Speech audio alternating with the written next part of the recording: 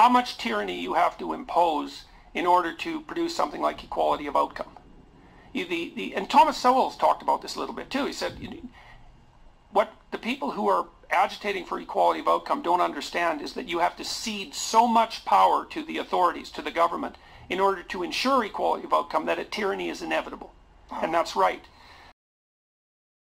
All right, so I wanted to assess one of the most deepest and thought-provoking questions that plagues the political landscape that the right consistently keeps perpetuating. Pointing out the radical left and associating the radical left with equality of outcome. And we've heard individuals such as Dr. Peterson that we just heard, as well as Ben Shapiro, Thomas Sowell, and various other right-wing figures consistently point out that there's a radical left and that radical left is arguing for equality of outcomes, meaning in every sphere of life, let alone economically, there should be complete and utter equality. But of course that analysis is comical at best, because in actuality, and moreover factually, there isn't any sort of radical left that's arguing for equality of outcome. For example, I don't know which specific element that he's referring to. If he's referring to the Bernie Sanders left within the American context, arguing for equality of outcome, that analysis is utterly flawed in every sort of way imaginable. All he was arguing for was policies that already exist in all other developed nations, such as one form or another, as he's mentioned numerous times, a single payer and or Medicare for all type system. Moreover, when he's arguing in favor of other policies as well, whether legalizing marijuana from a social standpoint higher wages such as raising the minimum wage to $15, let alone allowing workers to have bargaining rights to such a capacity in regards to increasing unionization, predominantly associated with job creation that he was going to push for, such as through infrastructure project and or projects None of those policy platforms are radical in any sort of way, shape, or form. Why? Because those policy initiatives already exist in all other developed nations. Therefore, by logic, if Bernie Sanders' policies were radical and or associated with the radical left, then all other developed nations would be conceptualized and understood to be radical left nations and or countries. But of course we know that's not the case. Why? Because most countries, especially Western democracies, be it Canada, UK, and America, have a private sector as well as a public sector. Now Canada and the UK have much more of a vibrant and or stable public sector, especially in terms of healthcare coverage. Meanwhile, America doesn't have even nowhere near a large and or robust public sector compared to UK and Canada.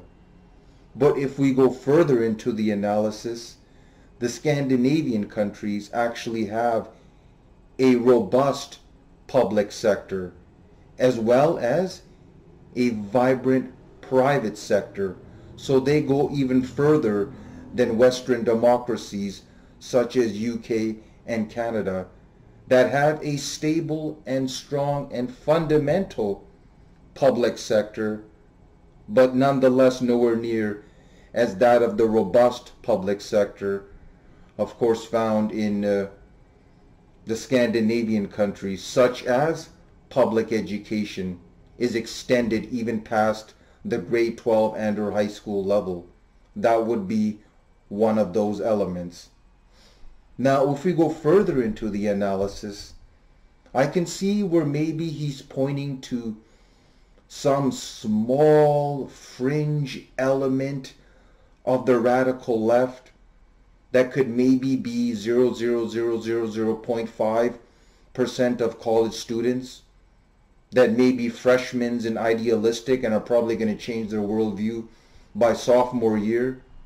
But of course, that would be an immensely flawed analysis on his part because 18-year-old freshman students that may be arguing for equality of outcome have absolutely no institutional power to actually enact any sort of radical left policies that are tied to equality of outcome.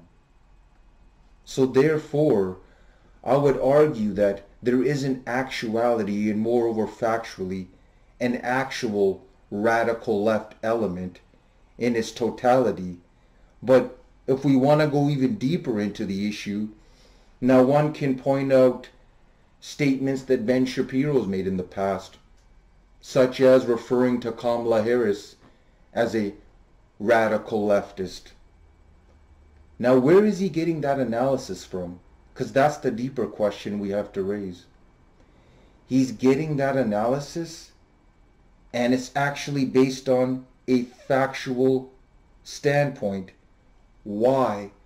Because if you actually assess Kamala Harris' is voting record, you'll see that she voted for a lot of center-left policies, such as supporting Bernie Sanders' Medicare for All bill. But when she ran in the Democratic primaries, she of course changed her position why? Because it was politically expedient within that context to support Bernie Sanders' Medicare for All bill and also to support the Green New Deal. But when she ran in the Democratic primaries, it was no longer politically expedient for her to support such policies. Why? because Bernie Sanders already had that left-wing element of the Democratic base. So therefore, it became politically expedient for her to distinguish herself from Bernie Sanders and appeal to more of a centrist and or moderate lane within the context of the Democratic primaries. That's the analysis that Ben Shapiro doesn't give you. Because if you explicitly want to go by the voting record, yes, he's correct. But then we have to assess why is there so many contradictions found in regards to her voting record and what she stated within the context of the Democratic primaries where she multiple times contradicted herself in regards to supporting Bernie Sanders' Medicare for All bill let alone some of the statements she's made in the past and or present tied to taking more of a proactive approach in regards to dealing with climate change, such as her past support of the Green New Deal. So we know now that's not true as well in its totality. So now we have to go even further into the issue. Well then who is uh, this equality of outcome largely being perpetuated by some sort of radical left element of the left. Now one can go really deep into it and say, well, what about a lot of these corporations that are perpetuating and are pushing for this sort of diversity agenda, such as what we just recently heard from Coca-Cola that's pushing for diversity rooted in telling its workers to be less white. Now, is that tied to the radical left and or left-wing politics in its totality? No, in actuality it's not. What it is, is corporations engaging in tokenism, pushing for these superficial diversity programs while paying their workers with starvation wages and or immense levels of wage stagnation such as not supporting the federal minimum wage increase, let alone not allowing for their workers to have bargaining power, such as having the ability to unionize. That stuff pushed to the margins. Then what's pushed to the forefront is tokenism tied to diversity. That's what's happening within the context of the corporations. It's not that these corporations have been seized by some sort of radical left element of left-wing politics that's pushing for such said diversity programs. And even individuals like Robin DiAngelo, they're very much a part of that. That's why a lot of left tubers have been critical of her text White Fragility. It's largely tied to corporations and corporations pushing for tokenism. It's not tied to left-wing politics. Therefore, that radical left agenda that Dr. Peterson, who even goes to the extent of saying that that radical left is pushing for Stalinism, again, don't know where and who's pushing for Stalinism within the context of the left-wing sphere at large, whether through any sort of media outlets, even on YouTube within the sort of left tube sphere. There's not any left tuber that's pushing for Stalinism. But nonetheless, this is the conceptualization that dumb fucks like Dr. Peterson keep pushing forward. Now I've said this before, when it comes to Jungian psychology and or Dr. Peterson's psychological analysis, it's actually quite insightful. The problem is when he strays off that analysis and gets into politics, it's downright cringe-inducing in regards to where he's coming up with a lot of these perspectives and or viewpoints that he's outlining. So therefore, I would say and or argue that the left is not arguing for equality of outcome. Instead, they're arguing for equality of opportunity, such as the Bernie Sanders left that were pushing for merely regulating the healthcare market in light and or interest of the public good by transitioning and or dealing with a sick market such as the healthcare market that needs democratic intervention. Why? Because more than 18,000 individuals die each year because they don't have access to basic healthcare.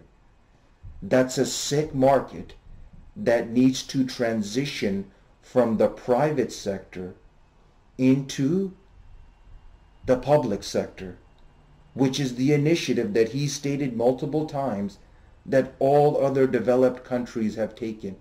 Why? Because it regulates the market and corresponds in giving individuals equal opportunity.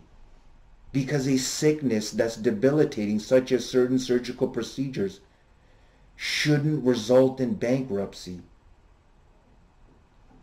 But uh, here we have Dr. Peterson's perspective on the radical left associated with equality of outcome. how much tyranny you have to impose in order to produce something like equality of outcome.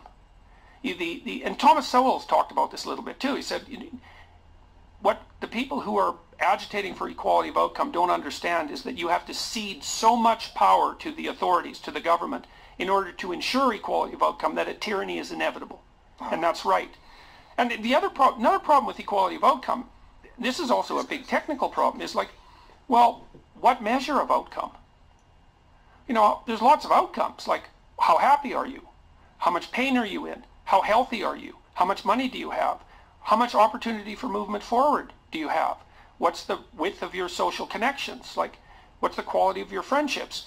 Do you have exposure to art and literature? Like, you know, you can multiply the number of dimensions of evaluation between people innumerably, right? Because there's, there's all sorts of ways to classify people. You're going to get equality of outcome on every one of those measures? Is like everyone going to have to be equally happy in their relationship? And if not, why not? Why, why stop with economic, why stop with pay? There's no place to stop. So, and that's, and that's a huge technical problem. Because there is no place to stop, there will be no stopping. It's like nobody can have anything else. Nobody can have anything that everyone else doesn't have at the same time. That's the ultimate outcome of equality of outcome. Well, you think about what that would mean. It's terrible. Well, instantly you think, oh, well, there's nothing but a tyrannical system could impose that. All right, so there we have Dr. Peterson's analysis. And again, it's very hard to determine what specific elements he's referring to when he says equality of outcome.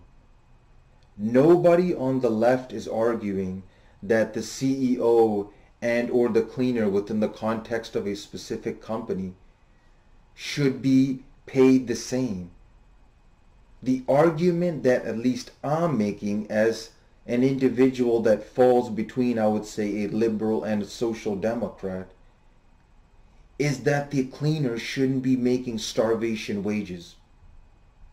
That he or she should be making enough wages that correspond in at least a living wage. That's the arguments that the left is making. Why? because it allows for equality of opportunity.